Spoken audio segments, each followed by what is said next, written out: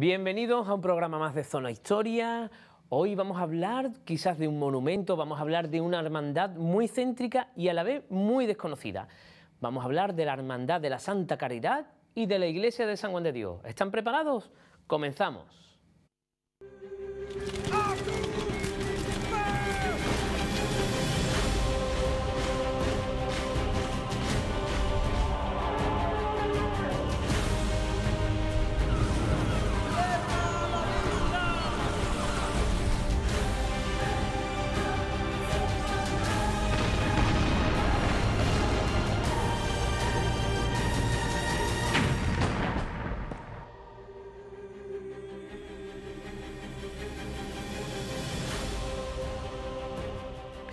Bueno, pues estamos en un programa más, ya les adelantaba de que vamos a hablar de la Hermandad de la Santa Caridad, quizás les suene un poco desconocida, y también de su relación con lo que es eh, la iglesia de San Juan de Dios.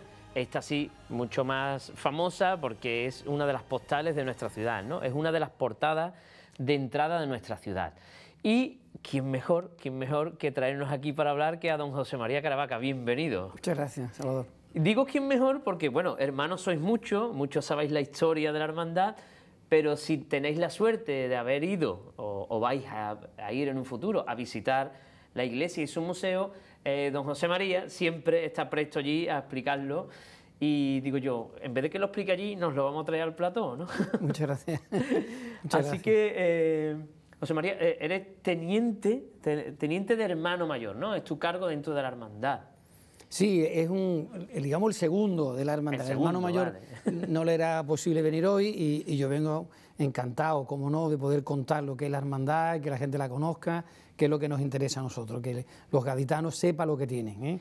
Sí, porque eh, yo mismo que he vivido al lado toda mi vida, y esto lo comentaba antes del programa con él, eh, no sabía, en cierto modo, nada. Sí, lo más llamativo, esto de los enterramientos, a, a gente con, bueno, sin recursos, etcétera, pero se quedaba ahí en esa nebulosa que tenemos los gaditanos, ¿no? de conocer un poquito de nuestra inmensa historia. Pero claro, la Santa Caridad va mucho más allá de, esto de los enterramientos, ¿no? Durante muchísimos años. Bueno, sí, mm, primero durante muchísimos años, Salvador, como tú dices. la, tradición dice que cuando Cádiz se reconquista a los sarracenos, esa palabra tan bonita, ya existía digamos, una, una hermandad de misericordia, una hermandad que hacía la beneficencia social de ahora. ¿no? Y, ahí empieza la hermandad de la Santa Caridad. Lo que pasa es que los documentos no son fáciles de mantener, porque sabes que con el asalto anglo-holandés de 1596 en Cádiz hay lo que le llamo yo un apagón informático gigantesco, es decir, que muchísimos documentos desaparecen. Es un dolor para los historiadores que siempre llevaremos. Pero es cierto también que es verdad que, la propia hermandad tiene documentos que conserva documentos que para mí alcanzan incluso más, valor. El, documento más antiguo de la hermandad de 1512, lo tenemos allí, ¿eh? en donde un señor nos deja un legado al Hospital de la Misericordia. Y es el primer documento que además empieza, es precioso, a mí me encantan los documentos, además tiene un dibujo muy bonito y empieza con las palabras preciosas de en la noble ciudad de Cádiz. ¿no? Y ahí empieza la historia de la Hermandad de la Santa Caridad, empieza antes, ¿eh?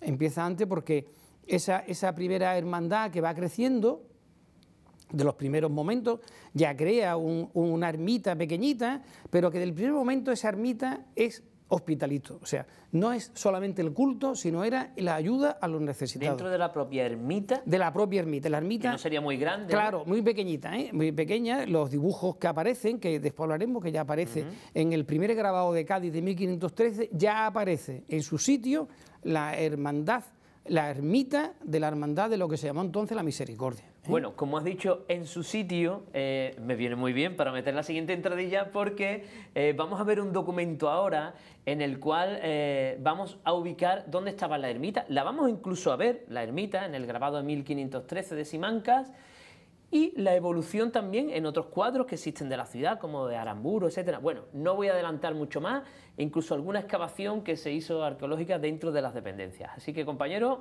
vemos el siguiente documento. Algunos historiadores confirman la existencia de la Hermandad de la Santa Caridad desde la llegada de Alfonso X el Sabio en 1262, lo cual también nos hace pensar en las construcciones religiosas del Cádiz medieval. Así, dentro de las murallas será la Catedral de Santa Cruz la que predomine sobre el resto de construcciones, que siendo simples ermitas, estarán repartidas por toda la isla. Y justo fuera de las murallas, en un recoveco, frente al puerto de la ciudad, en la estratégica esquina que conforman la actual calle de San Juan de Dios con la plaza, encontramos una de estas ermitas llamadas por entonces de la Misericordia. Según podemos observar en el grabado de 1513, la capilla con techumbre a dos aguas tendría su puerta principal por la calle de San Juan de Dios y constaría de espadaña con campana, aunque también se podría acceder a ella desde la plaza. Anexa a la ermita podemos ver varias dependencias de planta baja que corresponderían a la parte hospitalaria. Con el tiempo y el crecimiento económico de la ciudad, la iglesia que hoy conocemos irá tomando cuerpo y será alrededor de los inicios del siglo XVIII cuando la obra esté casi completa.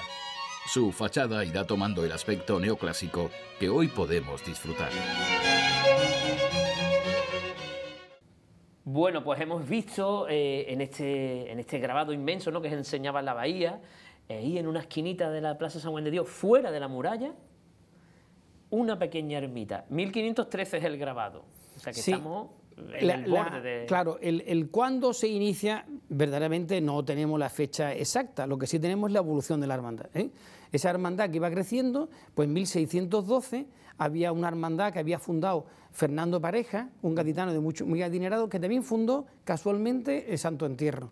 Y esa hermandad que él la llamó de San Miguel Arcángel estaba dedicado a los entierros de, la gente menesterosa, la gente que moría en Cádiz sin medios, que tú sabes que incluso los tiraban al mar. ¿eh? Claro, porque recordemos, no había cementerio. No había cementerios públicos. En, tierra santa. El que tenía dinero y el que no, pues venía los entierros de caridad. Bueno, pues las dos funciones de la, función, la Hermandad de la Misericordia y, y de San Miguel Arcángel se funden y crean ya una Hermandad de la Caridad que va creciendo, va creciendo en funciones y va creciendo en ese hospitalito.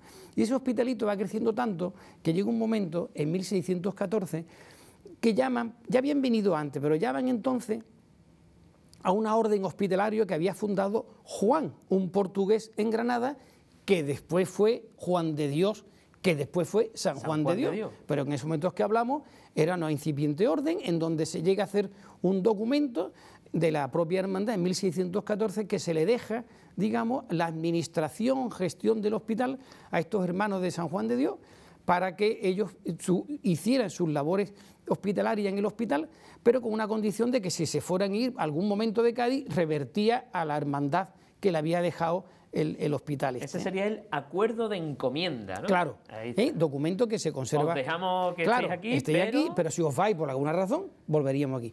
Y la hermandad se traslada entonces a, lo que era San Roque, que era una ermita de San Roque, donde está la casa del niño Jesús. Exactamente. ¿Eh? Digamos allí, ¿eh? Ahí, ahí estaban. ¿eh? Y ahí estuvieron haciendo las labores por separado. O sea, los hermanos de San Juan de Dios tenían allí. Y es verdad que la hermandad se queda siempre con una capillita que tenían con el San Miguel Arcángel, ¿eh? una capilla pequeñita que tenían y ahí hacían sus reuniones la hermandad. Y por otra parte, en el, hospitalito allí en la zona de San Roque, pues van haciendo también una labor incluso de hospicio, de atender a gente, etcétera, Porque además les hacen firmar a los hermanos de San Juan de Dios, tengo yo aquí apuntado, de que tienen que tener una sala para atención. Eh, claro, Claro, eh, eh, incluso después ya veremos, incluso una para atención a los menesterosos, una para la gente que no tenía medios, incluso la atención al peregrino también estaba, eh, digamos, concebida que se iba a hacer allí.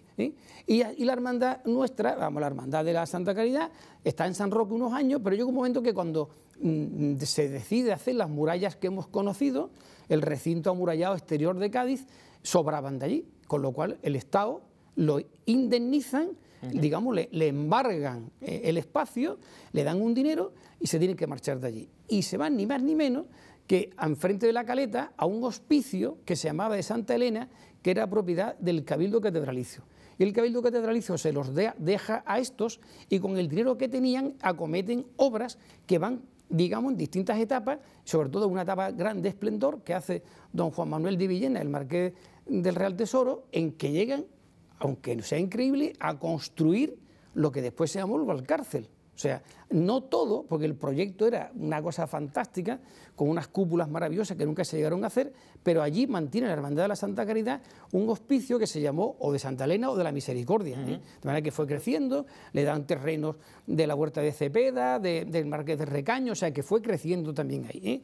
Y así están, digamos, mm, mm, haciendo sus funciones mm, por ambas partes, las dos lados. Y en este tiempo, en un sitio y en el otro, Salvador, pues va ocurriendo la historia de Cádiz y la historia, digamos, de España, pasando por el hospital. ¿Qué podíamos hablar de qué acontecimiento? 1755, el maremoto. Con lo cual, en nuestro hospital, el hospital tiene una cosa fantástica, que es que aparte del apagón informático de 1596, desde 1599 Salvador conserva la lista de todos los enfermos que han entrado en el hospital. Lo tenéis en el archivo, ¿no? En el archivo nuestro histórico están todos los legajos en libros de pergamino. Claro, lo que entonces apuntaban. El primero de 1599, pues dicen de una persona que llevaba un jubón de un color, que era no sé qué, y que entra con calenturas. Claro, no le va a poner el DNI. Claro, pero entonces ya va evolucionando, y entonces, claro, ¿Qué estudios están haciendo los estudiosos que vienen a nuestro hospital? Pues, por ejemplo, las epidemias. Claro, cuando de pronto hay un pico de gente que entra con unas características de calentura, unas características, pues van viendo que había los, momentos de epidemia. O en 1755, donde le parecen ahogados o dice por las heridas ocurridas por el temblor. O sea, que el 1 de noviembre. el terremoto Claro, marcando, o sea, que, que acontecimientos que han ido pasando, pues todo lo tenemos así. O sea, eh, eh, por ejemplo, eh, se sufre, como no, pues la guerra de la independencia.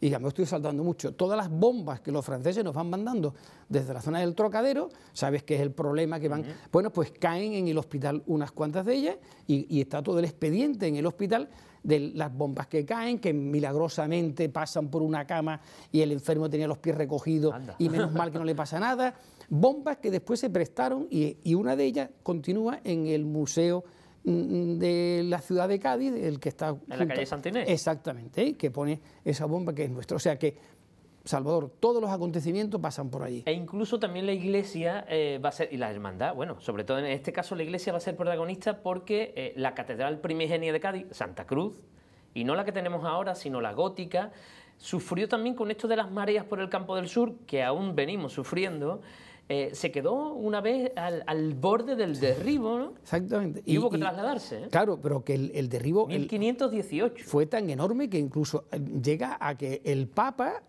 llega a autorizar por un breve, que se decía una especie de nota que manda Juan X, creo que era. Juan X. llega a autorizar el traslado de la sede catedralicia al Hospital de la Misericordia durante el tiempo de las reparaciones, porque verdaderamente la catedral vieja amenazaba ruina, como se puede decir. ¿eh? Y después, cierto, que ya cuando el asalto anglo-holandés, que no es momento ahora de extendernos, que sabe que están aquí ocho días, que arrasan, queman la catedral, esta pues se llevan las, las herrajes, se llevan rehenes, las campanas. Durante el tiempo de la reconstrucción, nuestra iglesia, llamándole así nuestra, sufrió menos porque veían que era un hospital. Los ingleses respetan el tema de los enfermos, el tema de los heridos, con lo cual la sede catedraliza se tiene que trasladar durante la gran reconstrucción de los Vandelvira, etcétera, etcétera, a, la, a la iglesia del Hospital de la Misericordia. Por segunda vez. Por segunda vez, digamos. entre comillas, este catedral, ¿no? Bueno, sede de. Sí, y después ya mm, crea una vinculación con el Cabildo Catedralicio, como tú sabes, había la tradición de que cuando un obispo llegaba a Cádiz, primero iba a la iglesia del Hospital de San Juan de Dios ahí lo recibía el hermano de la Santa Caridad y el alcalde de la ciudad y se organizaba una especie de corpus al revés para llegar a la sede catedraliza a tomar posesión. ¿eh? Mm. Eh, los documentos nos hablan del último mm, de don Tomás Gutiérrez, que yo lo he conocido de niño, digamos, de ese, fue esa ceremonial. ¿eh? Ya, ya hoy estas cosas pues, han desaparecido, se les recibía en el término de la ciudad, en fin, cosas que ya... Bueno, vamos viendo cómo la hermandad, por lo menos desde el 1500 y poco, sabemos que tiene vida, va teniendo vida, pero las normas más antiguas, claro, toda hermandad, incluso si ustedes pertenecen a una hermandad de Semana Santa o un club de fútbol, lo que sea, todo el mundo tiene normas. Sí. Además te las exigen cuando te vas a escribir. ¿eh? Sí. El gobierno te exige que haya una serie de normas, ¿no? Eh, claro, la Santa Caridad no es menos ¿Y las más antiguas que se conservan de cuándo son? Claro, digamos las impresas. Yo creo que verdaderamente le hemos pedido que fueran manuscritas. La, la, impresa que tenemos es de 1717. ¿eh? Hablan, en la misma impresa, habla que en 1714 ya habían hecho una eh, con la autorización eclesial de que habían absorbido eh, Misericordia mm, Hermandad de, San Miguel Arcángel y habían creado lo como conocemos Caridad hoy, pero era la misma, digamos, y en 1717 ya Lorenzo Armengual de la Mota, el obispo que después acomete la nueva catedral, pues ya hace, aprueba esos nuevos, digamos, estatutos que se han ido arrastrando verdaderamente, ¿eh? verdaderamente se han ido arrastrando mm, con todas las y adaptándolo, porque verdaderamente pues habla de la atención al reo de muerte, de cómo había que hacer los juramentos, de cómo había que, embalsamar a los mm, reos de muerte cuando ya habían fallecido, todo el proceso y además tiene un, un prólogo histórico interesantísimo que viene a resumir todo esto, Salvador, que estamos hablando. Claro, eh, cuando hablas de los reos de muerte, creo que escribiste un artículo eh, que está por aquí por la mesa, lo veremos en pantalla. Eh, había un proceso, ¿no? Porque hay que decir que la cárcel, el presidio, ah. si ustedes se sitúan, está la iglesia de San Juan de Dios, el ayuntamiento, que no era como hoy, un poco más pequeño, reducido, y entre la boca de la calle San Antonio Abad, donde hay un par de bares, y, la calle Pelota, ahí estaría lo que sería el presidio, ¿no? de la cárcel. O sea, estaban muy cercanos, ¿no? eran los que asistían. Claro, lo que pasa es que tienes razón, la cárcel estaba ahí, pero muchas veces, aunque ahora nos parezca una barbaridad, cuando hubo una ejecución mm, eh, era un poco ejemplarizante. Entonces montaban en, prácticamente en la zona de la puerta de tierra, se montaba el patíbulo para que fuera público y fuera una especie de, eh, escarmiento. Hoy nos parece todo una barbaridad, pero hay que pensar con los ojos del momento. Exacto. Entonces la, hermandad hace, aparte de los entierros de caridad para los que no tenían nada, pues hace la atención al reo, desde que va a entrar en capilla, en llevarlo al patíbulo, recogerlo y, y, enterrarlo. Eso es una labor de la hermandad que lo fue haciendo hasta 1909, que nos parece... Ayer, vamos. ¿eh? ¿Eh? Y que se, hace poco se ha escrito un libro muy interesante sobre la última ejecución que se hace en la cárcel de Cádiz, en que la hermandad pues tiene incluso reconocido en, eh, por una Real Orden de 1864, se llega a reconocer que son los únicos que podían entrar en la capilla, digamos, del reo. Y la hermandad ha empezado todo un procedimiento que iba desde poner un niño Jesús, que lo conservamos, con dos velas en la puerta de la iglesia, desde que se sabía que iba una ejecución, para captar un fondo adicional para los gastos que iba a ocasionar el enfermo. Y después se repartían los que iban a pedir por las zonas de Cádiz, etcétera, etcétera, todo ese proceso y después ya cómo se repartían de hermano mayor hacia atrás quiénes iban a recoger el cadáver, o sea, tremebundo, pero real y además ejemplarizante. Si lo leéis ahora, ahí me levanta los ojos de punta como las cosas que hacían ¿no? estos mayores. Y bueno, de ahí viene un poco eh, sabes que la hermandad cuando se jura como hermano te dan unas cosas mala toalla, que es una especie de banda que decían que con dos toallas pues hacía una especie de camilla para llevar a los enfermos. Para el traslado. Y se utiliza como símbolo de la hermandad distintivo desde entonces, eh, de 1828, para que sirviera como una especie de identificación para entrar en la cárcel. De manera que eh, en esos momentos que, había que estar en una zona muy reservada, claro, con esa banda, claro pues, era el, pase, de hoy en día. ¿no? Bueno, antes de irnos a publicidad, lo vamos a comentar brevemente, que el tiempo nos va consumiendo, la historia de este, pequeño, este rinconcito de Cádiz es enorme. Eh, claro, está en la bocana del puerto, en el centro de la ciudad, en la zona más estrecha de Cádiz, la calle San Juan de Dios. Eh, aquí es donde se van a recibir a heridos de las batallas de San Vicente, de Trafalgar, o sea, desembarcan y ahí están. Pero en Trafalgar ya saben ustedes que no solo españoles, a los propios ingleses y a, a todo el que llegaba se atendió. De hecho, los ingleses agradecieron a Solano la atención de los hospitales. Y la última Cuba, que esto fue hace un siglo y poco, y muy sentido en Cádiz. La, eh, de 1805, Trafalgar, es digno de verse la documentación que la hermandad conserva. Los ingleses llevan mucho suyo a Gibraltar, los españoles ya tenían la armada su hospital en San Fernando, pero los franceses, todos los franceses van al hospital de San Juan de Dios. ¿eh? Y la hermandad, por otra parte, tiene unas actas preciosas, va al muelle a recoger a las barcazas que venían con los heridos, como tú dices, de cualquier nacionalidad y, en sus propios coches, eran gente a veces muy adinerada, sus propios coches de caballo, para llevarlos al hospital. ¿eh?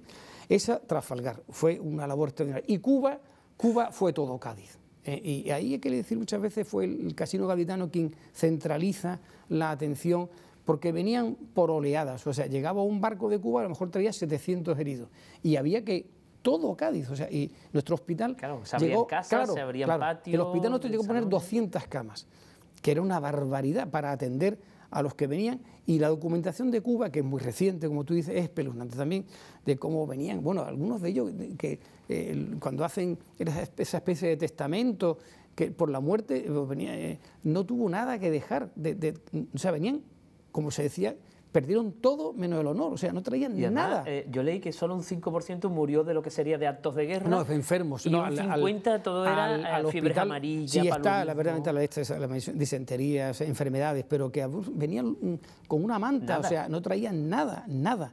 Y bueno, la hermandad hace una labor, sobre todo este Cayetano del Toro, con tres médicos que fueron eh, García de Arbolella y Salarburu, los tres médicos, que hacen la labor enorme de atender a, todo el personal. Vamos, eh. Que hay un capítulo de Zona Historia en cada frase que dice este señor. es que lo de la guerra de Cuba sí que será un capítulo de Zona Historia. Aquí participa, fijaos, ¿no? Cayetano del Toro, que ya tuvo su programa aquí con Ángel Guisado. Eh, bueno, hay muchísimo, muchísimo que contar. Ya digo que todo lo que aparecía por la bocana del muelle o, o propios gaditanos, ¿no? Eran atendidos por esta hermandad. Vamos a descansar aquí porque nos vamos a ir a una segunda parte donde vamos a hablar un poco ya de lo físico, de lo que será la iglesia. Así que, nada, unos consejos publicitarios y volvemos enseguida.